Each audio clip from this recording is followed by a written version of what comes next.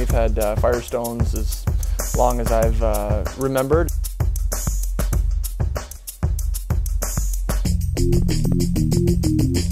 Ten, fifteen years ago, uh, we thought Goodyear was a, a good product, but maybe not focused on agriculture. But um, the more um, we talk to the people at Goodyear and um, see the things that they're doing um, and their interest in agriculture, um, we're very uh, excited about that. Uh, we've had a really good experience. We've uh, uh, we're a little skeptical at first, going from duals to uh, to a wider single, but um, yeah, really enjoyed uh, ride with them, and um, yeah, had a good experience with them so far.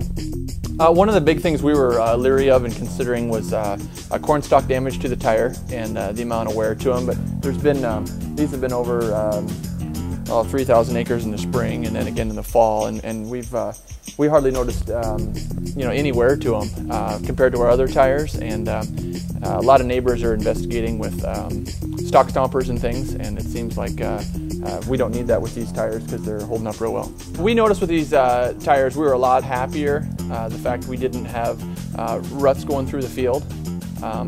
I thought uh, our other ones we could see after a rain, we'd see depressions in the field, which obviously is leading to compaction. But uh, I felt with these, we could hardly notice any traffic lanes or um, depressions in the field. You know, a better ride, taller sidewall, that's a good thing. but you know, operating different pieces of equipment with this low sidewall, uh, being skeptical at first. Um, after uh, ride and traction and uh, lack of compaction, I, uh, I'm a believer. We all are.